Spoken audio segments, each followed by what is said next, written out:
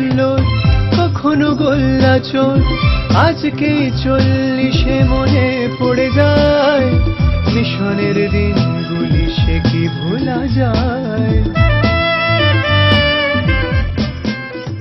Seventy নাইনে যোগ, যোগদান করেছি টোয়েন্টি ফার্স্ট জুন স্কুল সম্বন্ধে আমার অভিজ্ঞতা সব থেকে বেশি কারণ কোন একটা ছাত্র এলে, কোন একটা টিচারকে ডাকলো যে বলে একে চেনেন আপনি? সার্টিফিকেট চাইতে এসেছে। একে চেনেন আপনি?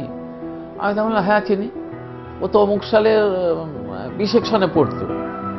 আপনি সব জানেন? হ্যাঁ আমি হ্যাঁ সব জানি। ওর বাড়ি কোথায় জানি? তখনকার নিয়ম ছিল, প্রাইমারিতে যে সেকশনে পড়বে, সেই সেকশনে একবার হাই স্কুলে টেন পর্যন্ত যাবে।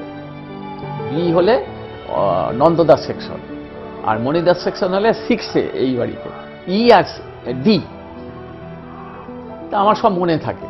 তোরাও জানিস যে পরীক্ষার ফলে কীভাবে গার্ড দিতাম একটি ছেলে জিজ্ঞেস করছে, টপিন রোডে? স্যার, আপনি কি করে চোর ধরতেন? আমি ওই যে চেয়ারে বসে থাকতাম।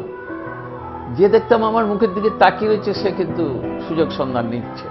আমি বেশিরভাগ মারতাম ফাইভ পিঠে মারতে গেলে দম বন্ধ হয়ে যাবে, এইসব। আমি কোচিং করাতাম ফুটবল কোচিং করাতাম। ও ওই সপ্তর্ষি আমাকে বলেছিল, স্যার, আপনি একটা শর্ট মারুন না, আমি আটকাবো।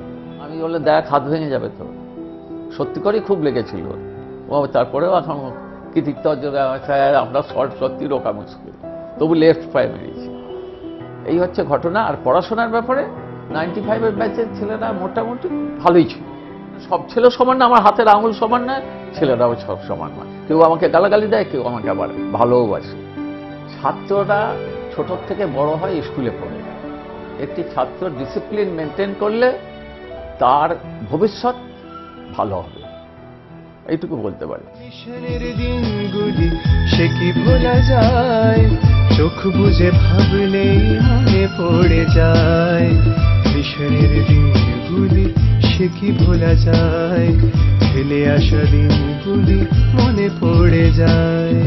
চোখ বুঝে ভাবলেই মনে পড়ে যায়।